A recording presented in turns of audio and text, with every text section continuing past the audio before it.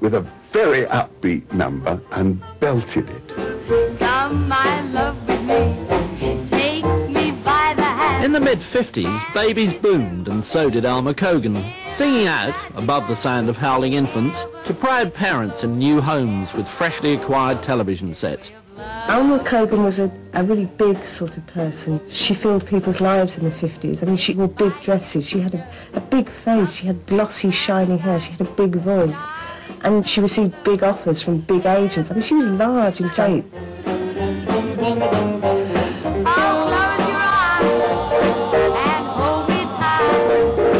Then we'll climb the stairway of love tonight. Whatever show you turned on seemed to be Alma Cogan on it, you know. Way. She was the strongest experience of it.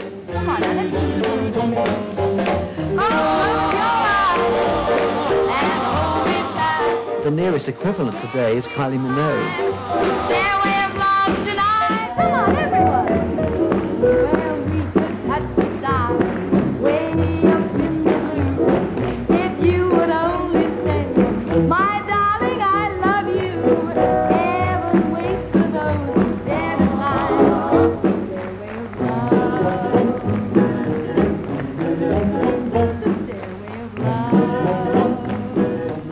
Love. Was constantly on the telly.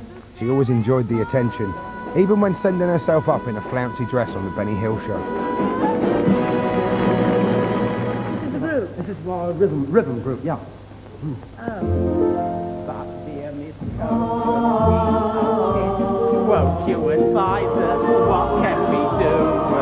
We've tried Covent Garden, tried Sadler's Wells, we've sung to the windmill queue.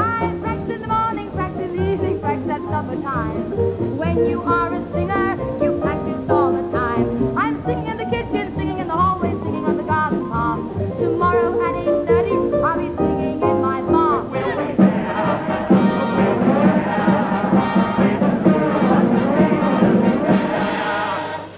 But I need You heard people like Alma on radio and on records, and you got them into television studios as quickly as you could. A unique fire.